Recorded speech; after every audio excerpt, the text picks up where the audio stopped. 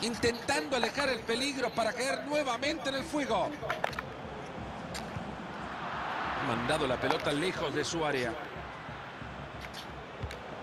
Jordi Alba. Franquesi. Buscan el primer palo. Ahí está.